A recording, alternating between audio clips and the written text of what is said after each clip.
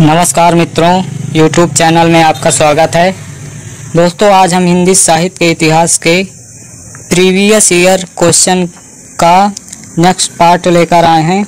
यदि आप UP TGT PGT UGC NET JRF Hindi साहित्य आदि अन्य किसी भी राज्य के हिंदी अध्यापक तथा हिंदी साहित्य से संबंधित कोई भी तैयारी कर रहे हैं तो इसको अवश्य देखें। और यदि वीडियो पसंद आए तो इसको लाइक करें।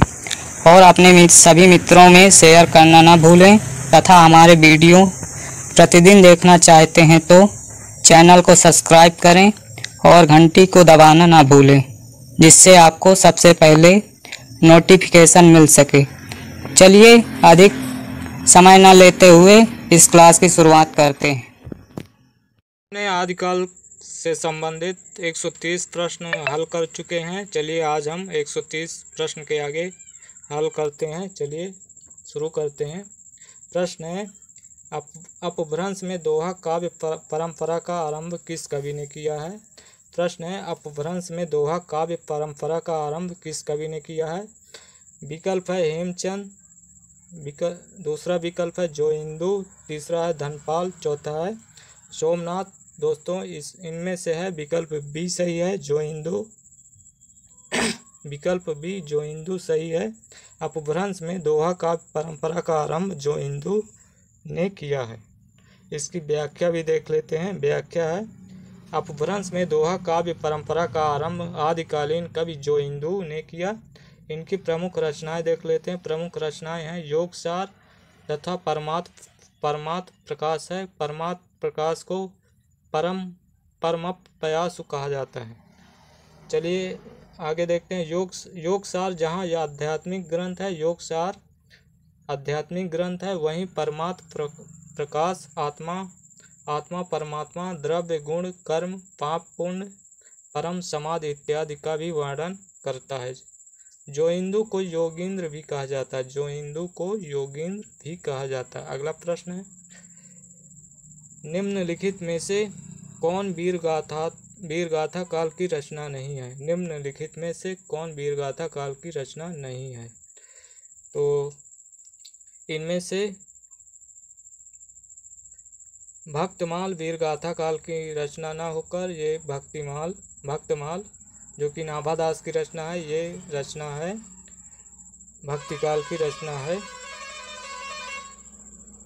भक्तमाल, भक्तिकाल की रचना है। चलिए इसकी व्याख्या भी देखते हैं। व्याख्या है नाभादास भक्तिकाल के कवि थे, इनकी रचना भक्तमाल है और प्रियादास की प्रियादास प्रियादास की भक्तमाल की टीका सत्रह सौ बारह ईस्वी में लिखी गई थी। इसमें 200 भक्तों का चरित्र 316 छप्पयों में वर्णित है। भक्तिमाल में तुलसीदास जी को भक्तमाल का सुमेरु कहा गया है। भक्ति, भक्तमाल में तुलसीदास जी को भक्तमाल का सुमेरु कहा गया है। संदेश रासक संदेश रासक अब्दुल अब्दुल रहमान की रचना है। संदेश रासक अब्दुल रहमान की रचना है और जय मयंक जस चंद्रिका मधुकर भट्ट की रचना है। जय मयंक जस चंद्रिका मधुकर भट्ट की रचना है। अगला प्रश्न है, इनमें से कौन सा कवि आदिकाल का नहीं है? इनमें से कौन सा कवि आदिकाल का नहीं है? चंदर, चंदबरदाई हैं, जिनकी रचना है पृथ्वीराज रासो, जगनिक जगनिक जगनिक भी हैं आदिकाल के, इनकी रचना है परमाल रासो परमाल रासो को आलाखंड भी कहा जाता है। दलपत विजय भी हैं, और इनके अलावा विकल्प सी नाभादास, जो कि इसके पहले भी हम देख चुके हैं, नाभादास भक्तकाल के कवि हैं। इसकी व्याख्या भी देख लेते हैं। नाभादास भक्तिकाल, सगुण भक्ति काव्य धारा के कवि थे। ये अग्रदास जी के शिष्य थे। नाभादास अग्रदास जी के शिष्य थे। इन्होंने नाभादास ने अष्टयाम की रचना श्रृंगार भक्ति अथवा रसिक भावना को लेकर की है। ये तुलसीदास के समकालीन थे। विकल्प विकल्प में दिए गए अन्य कवि आदिकाल के हैं। इनके अलावा अन्य कवि आदिकाल के हैं। प्रश्न है, एक सौ चौंतीस, इनमें से कौन सी रचना आदिकाल की है? इनमें से कौन सी रचना आदिकाल की है? दोस्तों, विकल्प ए सूर सागर सूरदास की रचना है, जो कि ये भक्त भक्ति काल के सगुण काव्यधारा के कृष्ण भक्ति कवि हैं, और बीजक, आप सभी जानते ही होंगे, बीजक है तुलसीदास की रचना। सॉरी दोस्तों, बीजक है कबीरदास की रचना, जो कि साधुकड़ी भाषा में है। बीजक कबीरदास की रचना है और विद्यापति।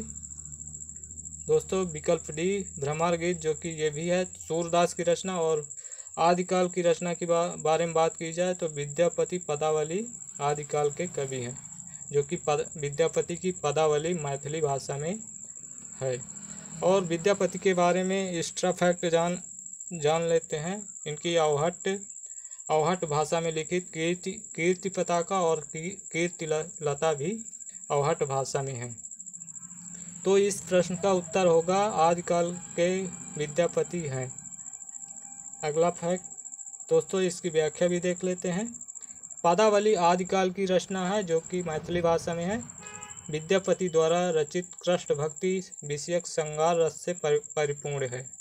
इसमें राधा कृष्ण की प्रेम लीलाओं का वर्णन, इसमें राधा कृष्ण की प्रेम लीलाओं का वर्णन किया गया है। सूर सागर बीजक तथा भ्रमर गीत भक्ति काल की रचनाएँ हैं।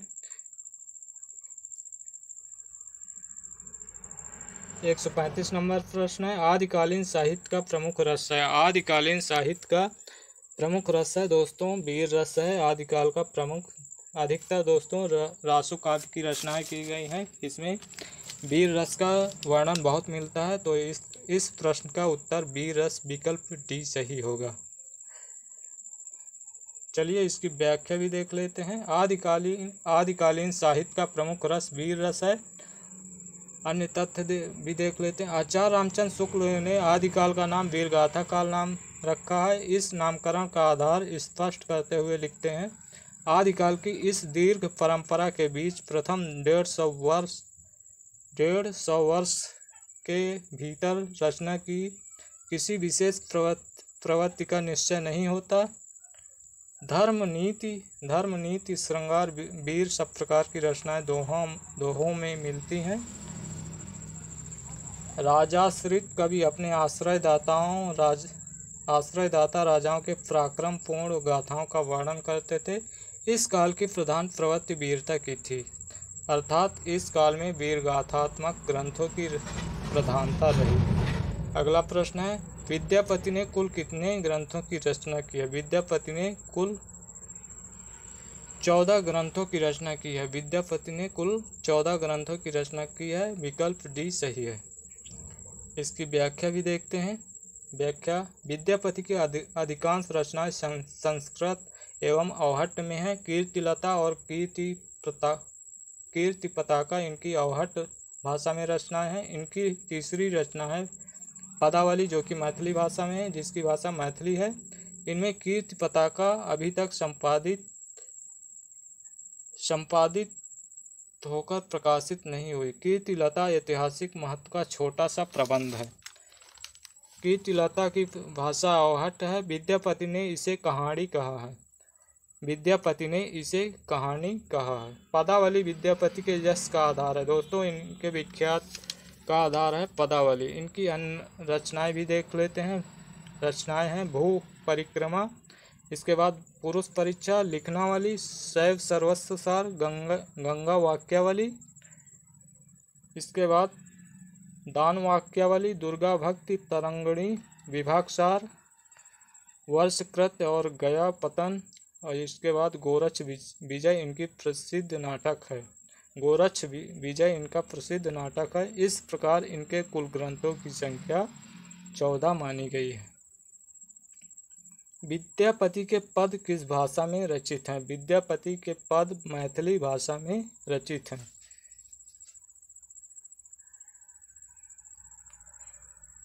प्रश्न है, एक सौ अड़तीस दान वाक्यावली के रचनाकार हैं। दान वाक्यावली के रचनाकार हैं विद्यापति। दान वाक्यावली के रचनाकार विद्यापति हैं। प्रश्न उनतालीस है, एक सौ उनतालीस। विद्यापति किस भाषा के कवि थे? विद्यापति विद्यापति दोस्तों, प्रमुखता मैथिली भाषा के कवि थे दोस्तों, और इनके अलावा, मैथिली भाषा के अलावा दोस्तों, संस्कृत भाषा में और अवहट भाषा में भी इन्होंने रचनाएँ की हैं, जो कि हम इससे पहले भी देख चुके हैं। तो इस प्रश्न का उत्तर होगा मैथिली भाषा के कवि थे। प्रश्न है, एक सौ चालीस, विद्यापति की कौन सी रचना अभी तक संपादित होकर प्रकाशित नहीं हुई? विद्यापति की कौन सी रचना अभी तक संपादित होकर प्रकाशित नहीं हुई है? दोस्तों, इस प्रश्न का उत्तर विकल्प बी कीर्ति पताका सही है, जो कि ये अवहट भाषा में है, और कीर्तिलता भी अवहट भाषा में है, और विद्यापति की पदावली भी पदावली दोस्तों मैथिली भाषा में है। प्रश्न एक सौ इकतालीस, विद्यापति को कृष्ण भक्तों की परंपरा में न समझना चाहिए, ये, यह इनमें से किसका कथन है? विद्यापति को कृष्ण भक्तों की परंपरा में न समझना चाहिए, ये कथन दोस्तों आचार्य रामचंद्र शुक्ल का है। इन्होंने ही माना है विद्यापति को कृष्ण भक्तों की परंपरा में न समझना चाहिए, ये कथन है। आचार्य रामचंद्र शुक्ल का अतः विकल्प बी, आचार्य रामचंद्र शुक्ल सही है।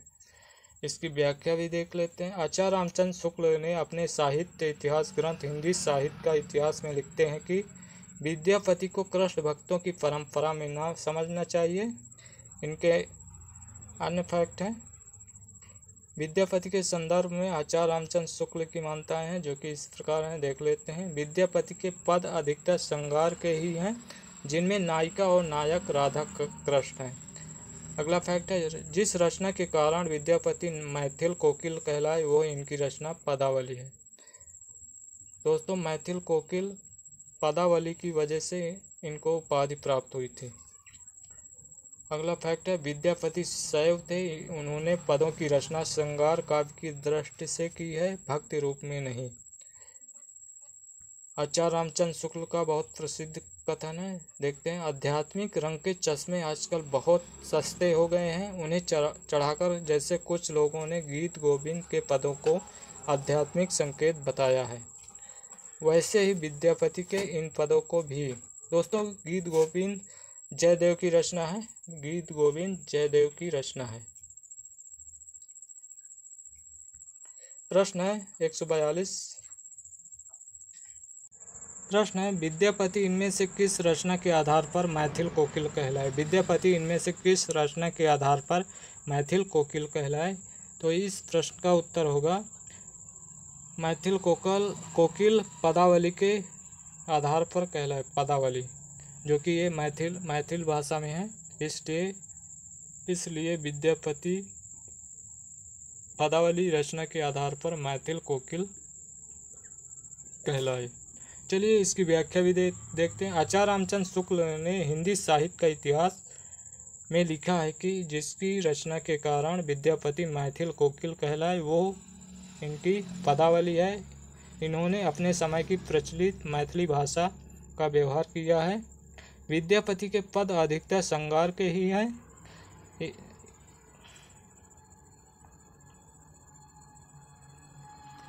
जिनमें नायिका और नायक राधा कृष्ण है। अगला प्रश्न एक सौ तैतालीस। विद्यापति को मैथिल कोकिल की उपाधि निम्नलिखित में से किस रचना पर दी गई? दोस्तों, फिर इस प्रश्न का उत्तर भी विकल्प डी, पदावली सही होगा। विद्यापति को मैथिल कोकिल की उपाधि पदावली रचना पर दी गई है। दोस्तों, कीर्तिलता और कीर्ति पताका हट भाषा में है और गीत गोविंद की रचना,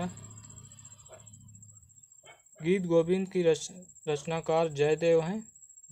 जयदेव हैं, गीत गोविंद के रचनाकार। अगला प्रश्न है, काम, भाव और शरीर का सौंदर्य उनके यहाँ उत्सव रूप में है।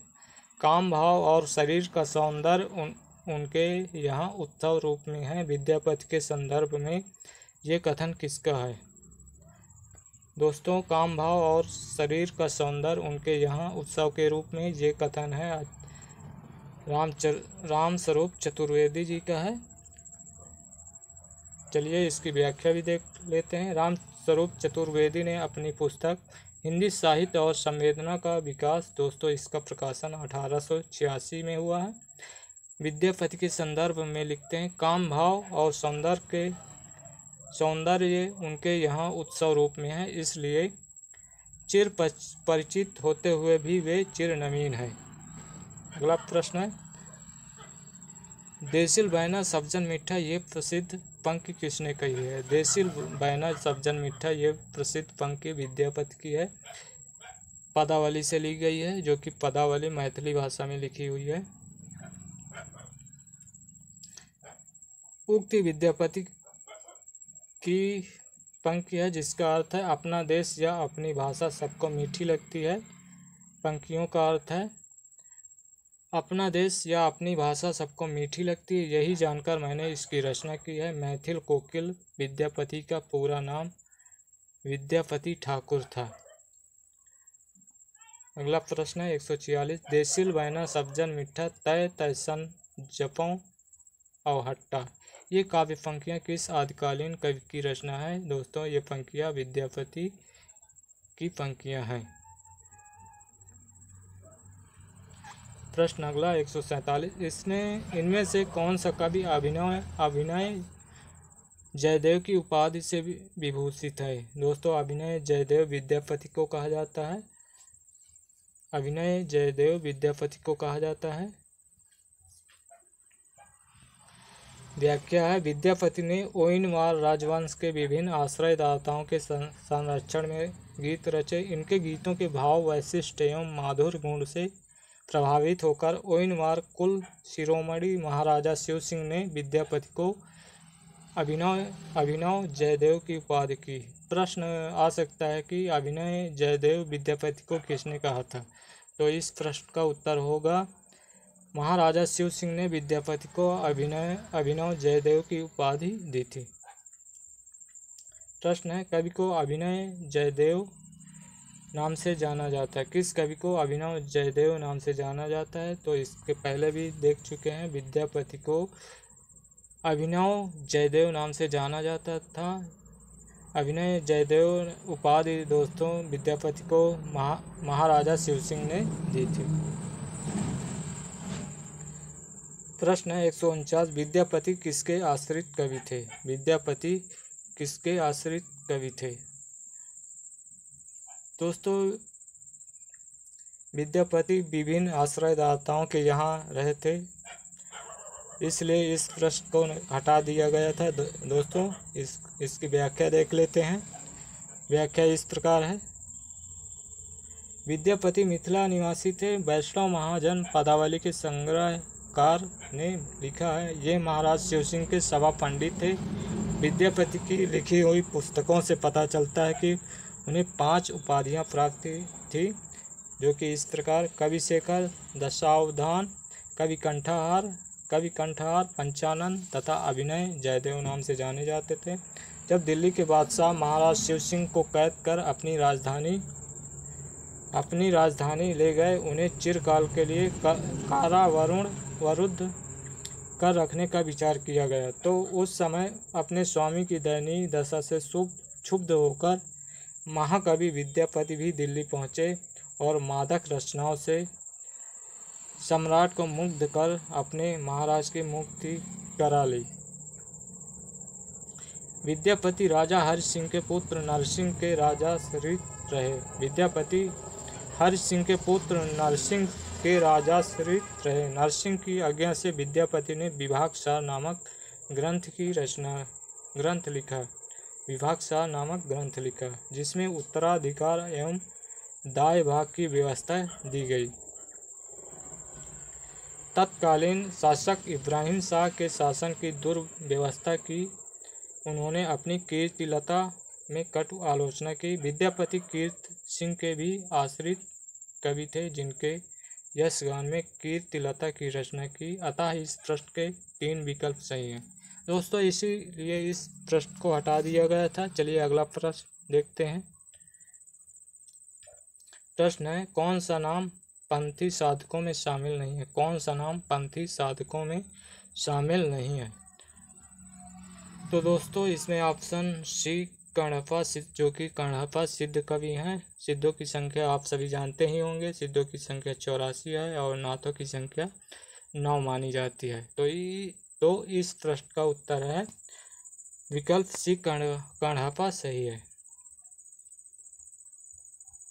व्याख्या कणहपा सबरपा सरहपा लोईपा डोम्बिपा कुकुरिपा आदि सिद्ध साहित्य के कवि हैं। नाथ साहित्य के विकास में जिन कवियों ने योगदान दिया, उनमें चौरंगी नाथ गोपीचंद चुड़कर नाथ भरथरी जलंधरी पाव आदि प्रसिद्ध हैं। नाथ साहित्य के कवियों के नाम अलग अलग विद्वान अलग अलग रूपों में दिए हैं। प्रश्न है, आदिकाल के अंतर्गत सरहपा लोईपा आदि कवि किस साहित्य से संबंध है? दोस्तों सरहपा लोईपा आदि कवि सिद्ध सिद्ध साहित्य से संबंधित हैं। विकल्प सी सही है। सिद्ध साहित्य सरहपा को हिंदी का प्रथम कवि राहुल शंकरतैन ने माना। सरहपा का समय है दोस्तों सरहपा का समय सात सौ उनहत्तर ईस्वी है और इनकी रचना है दोहा कोश दोहा कोश इनकी रचना है। इनके शिष्य का नाम था शबरपा। दोस्तों, इनके शिष्य का नाम था शबरपा। प्रश्न बावन है। निम्न में से किसका संबंध सिद्ध साहित्य से नहीं है? दो, दोस्तों सिद्ध साहित्य से सरहपा ये संबंध है इनका कुकुरिपा भी हैं सबरपा भी हैं गोपीचंद सिद्ध साहित्य से संबंधित नहीं है। दोस्तों सरहपा इससे पहले भी देख चुके हैं। सबरपा की बात की जाए तो सबरपा सरहपा के शिष्य थे, इनकी रचना है। चरिया पद, इनकी रचना है। चरिया पद, इनकी रचना है। प्रश्न है सरहपा का संबंध निम्न में से किससे है? सरहपा चौरासी सिद्धों में सर्वप्रथम है। इन्हें हिंदी का प्रथम कवि माना जाता है। हिंदी का प्रथम कवि राहुल शंकर ने माना है। तो ये सिद्ध साहित्य से संबंधित है।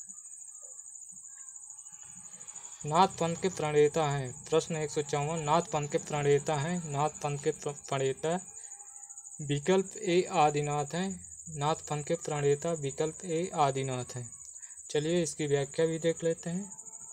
नाथ पंथ के प्रणेता आदिनाथ हैं, यौगिक क्रियाओं के उद्धार के लिए नाथ संप्रदाय का उदय हुआ। यौगिक क्रियाओं के उद्धार के लिए नाथ संप्रदाय का उद... नाथ संप्रदाय का नाथ संप्रदाय के संस्थापक आदिनाथ को, यानी कि भगवान शंकर का अवतार माना जाता है। इस संप्रदाय में नवनाथ गो नवनाथों में गोरखनाथ जो ज्वालेंद्रनाथ कारुणनाथ गहिनीनाथ, चरपटनाथ, रेवणनाथ, नाथ, नागनाथ, भाद्रनाथ और गोपीचंद्रनाथ को मुख्य माना जाता है। अगला प्रश्न है, नौ नाथों में इनमें से कौन सम्मिलित नहीं है? नौ नाथों में इनमें से कौन सम्मिलित नहीं है? दोस्तों, विकल्प सी सही है। देवसेन देवसेन की रचना है। श्रावकाचार श्रावकाचार देवसेन की रचना है। इसका समय है नौ सौ तैंतीस ईस्वी, जो कि हिंदी की प्रथम रचना माना जाता है। इसकी व्याख्या भी देख लेते हैं। गोरखनाथ, नागार्जुन तथा जड़ भरत नवनाथों में सम्मिलित किए जाते हैं, जबकि देवसेन आदि का कालीन जैन कवि हैं। देवसेन जैन कवि हैं, इनकी रचना है श्रावकाचार देवसेन की प्रमुख कृति है।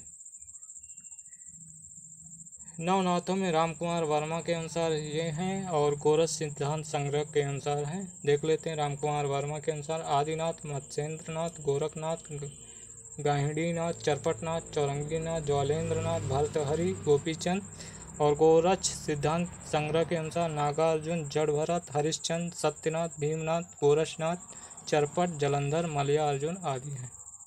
अगला प्रश्न है नवनाथों की, नाथों की संख्या कितनी मानी गई है? नाथों की संख्या नौ मानी गई, विकल्प डी सही है और सिद्धों की संख्या चौरासी मानी गई है।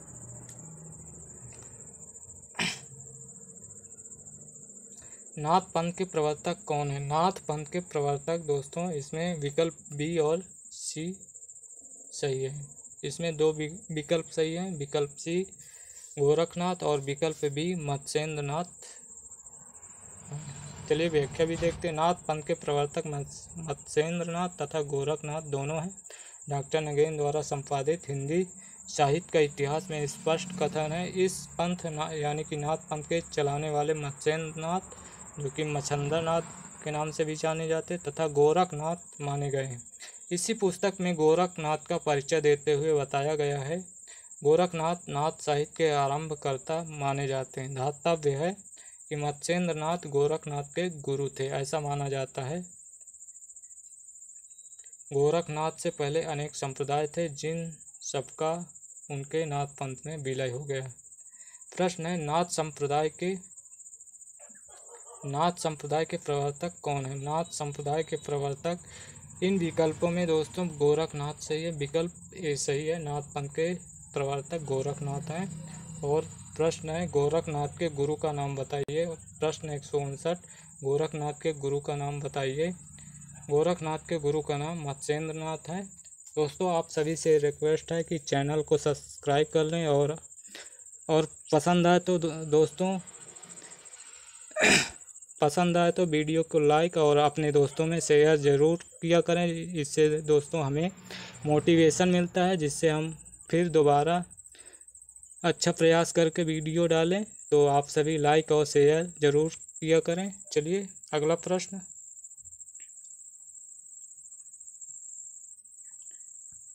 प्रश्न है, नाथ संप्रदाय में हठ योग का क्या अर्थ है? नाथ संप्रदाय में हठ योग का अर्थ है, विकल्प डी सही है दोस्तों। विकल्प डी सही है। हा का अर्थ है सूर्य और ठा का अर्थ है चंद्र। दोनों का योग है।